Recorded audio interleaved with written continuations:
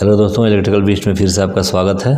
मैं आपको series board का कनेक्शन डायग्राम बता रहा हूँ। मैं तो सीरीज़ बोर्ड बनाने को बताया हूँ पिछली वीडियो में, लेकिन बहुत लोगों को समझ में नहीं आ रहा है। इसीलिए मैं बहुत लोग बताए कि सर्किट डायग्राम बनाकर दिखाइए और समझाइए तो मैं बेहतर तरीके से समझने के लिए सर्किट डायग्राम बनाकर आप लोगों को समझा रहा हूँ। हाँ तो प्लीज़ इस वीडियो को आप लोग पूरी तरह से देखिएगा, पूरा लास्ट तक देखिएगा, तब समझ में आएगा आप लोगों को।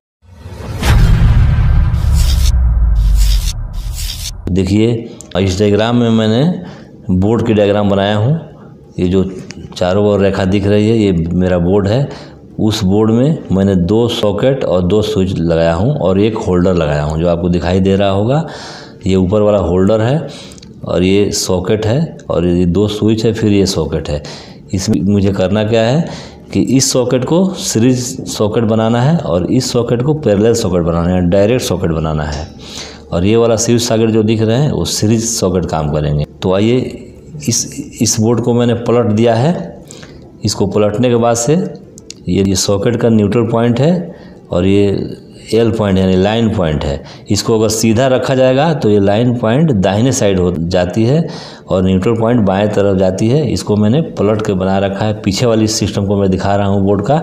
इसीलिए ये एन पॉइंट यानी न्यूट्रल पॉइंट दाहिने है और लाइन पॉइंट बाएँ है। तो आइए दोस्तों, इसका कनेक्शन करते हैं और समझाते हैं मैं आपको कि इसका कनेक्शन कैसे होता है। देखिए मेरे हाथ में रेड कलर का स्केच पेन है।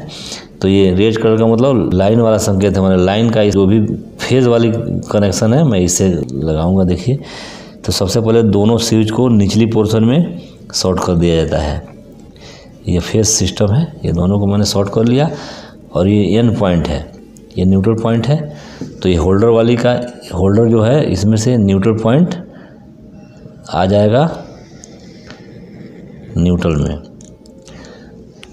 और ये होल्डर का एक फ़ेज़ पॉइंट आ जाएगा स्विच में। ये आ गया आपका स्विच में और इसमें और इस सॉकेट का एल पॉइंट इस स्विच से कांटेक्ट हो जाएगा। ये जैसे स्विच ऑन होगा, ये लाइन यहाँ चली आएगी एल पॉइंट में। ये ये दोनों एल पॉइंट है ये। ये दोनों लाइन है जो रेड कलर का निशान दिख रहा है, ये ये लाइन पॉइंट है। अब इसमें सीरीज़ के लिए बस कुछ नहीं करना है। ये स्विच वाली पॉइंट को, इस सॉकेट वाली पॉइंट से कनेक्ट कर देना है और ये इस पॉइंट को भी स्विच का, इस सॉकेट वाले पॉइंट से कनेक्ट कर देना है। अब इसमें हमको इस कनेक्शन तैयार हो गया दोस्तों। इसमें अब सप्लाई देना है कि फ़ेज़ सप्लाई कहाँ दिया जाए और न्यूट्रल सप्लाई कहाँ दिया जाए। तो न्यूट्रल तो कभी भी यहीं दिया जाएगा।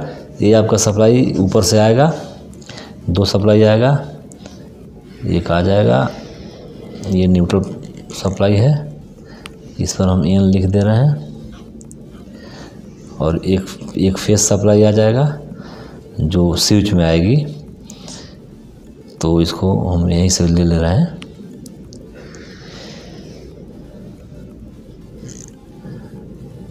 ये स्विच पॉइंट में इसको दे दे रहे हैं। तो ये रहा आपका सर्किट डायग्राम इस इस, ये पॉइंट पर एल लिख दे रहे हैं, मेरे लाइन वाली पॉइंट है। अब देखिए काम कैसे करेगा? ये एन पॉइंट जो आ रहा है, यहाँ पे न्यूट्रल के पास, इस सॉकेट में, यही इसी सॉकेट से होकर होल्डर में चला जा रहा है। तो इस होल्डर को न्यूट्रल मिलने लगा है यहाँ से। अब इस होल्डर को फ़ेज़ यहाँ से मिलेगी। जैसे इस स्विच को ऑन किया जाएगा, ये होल्डर जल जाएगी। तो जब तक सीरीज़ का कोई काम नहीं है, इस होल्डर से लाइट का प्रयोग किया जा सकता है उजाले के लिए। और इस स्विच को जैसे बंद किया जाएगा तो इस बल्ब बंद हो जाएगी और ये सीरीज़ वाला ये सॉकेट जो दिख रहा है, ये काम करने लगेगा। अब इस इस सीरीज़ का इस्तेमाल जब भी करना है, इस स्विच को बंद करके ही करना है। ये स्विच बंद पोजीशन में रहेगा तो ये न्यूट्रल पॉइंट जो है यहाँ पे फ़ेज़ मिल रही है, यहाँ से, और यहाँ से इसको लाइन यहाँ मिल रही है। तो ये ये ये फ़ेज़ यहाँ से इस पर आएगी, कोई भी सिस्टम यहाँ पे चेक किया जाएगा, जैसे मान लीजिए हम लोग यहाँ से, या इस दोनों वायर में कोई भी हम लोग जैसे जैसे ये बल्ब हो गया बल्ब का दो पॉइंट इसमें लगा दिए तो इस बल्ब के थ्रू ये फेस इस बल्ब के थ्रू होकर इस बल्ब में चली जाएगी तो ये दोनों बल्ब फिफ्टी फिफ्टी होकर जलने लगेंगे, आधे आधे होकर जलने लगेंगे। तो ये रहा कनेक्शन डायग्राम सीरीज़ बोर्ड का।